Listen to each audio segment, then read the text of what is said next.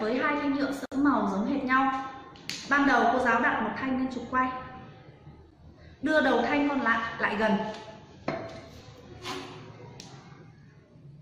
Kem hãy quan sát hiện tượng xảy ra, xem khi chưa được cọ sát, chúng hút nhau hay đẩy nhau. Tiếp theo, cô giáo dùng mảnh vải khô cọ sát lên đầu hai thanh nhựa sẫm màu này nhiều lần.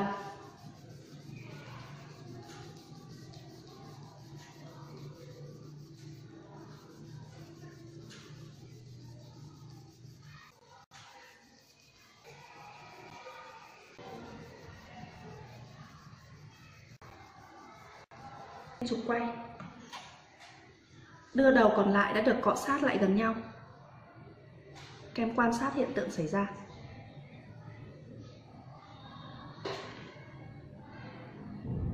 Căn cứ vào các cơ